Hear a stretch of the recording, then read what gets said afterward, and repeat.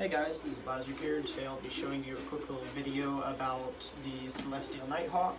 You've probably already seen the still, uh, and so there's still quite a bit left to do on it.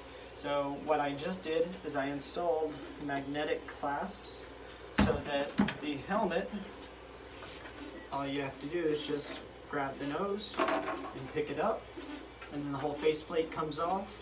Right now I only have a piece of foam shoved in here. It's not uh, not anything permanent. Uh, and then there's also on the back there will be more foam to make it where it's like not like a bobblehead, and that pops off as well. So that's it for this video. Um, I'll probably make another one whenever I am installing the lights and once I have all the padding done. So stay tuned.